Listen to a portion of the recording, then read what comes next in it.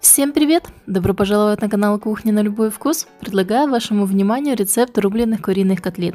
Котлеты получаются сочные, нежные, готовятся очень быстро. Добавьте себе этот рецепт в копилочку, чтобы не забыть приготовить.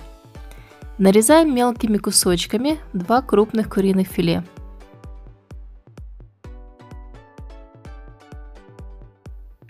Также очень мелко нарезаем одну среднюю луковицу.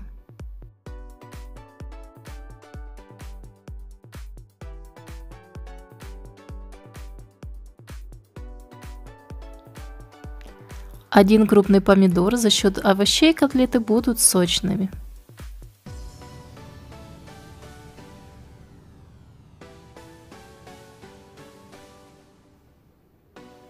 Соединяем все в глубокую емкость, добавляем одно яйцо, половину чайной ложки соли и смесь молотых перцев по вкусу.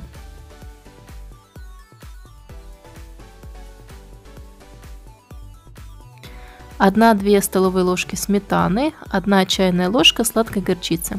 Можно без горчицы, если вы не любите, главное, чтобы была сметана. Она придает нежность этим котлетам.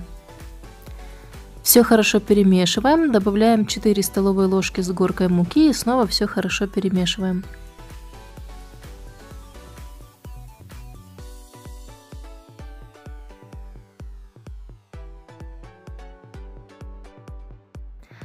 Жарим на разогретой сковороде с растительным маслом на небольшом огне с двух сторон до румяной корочки.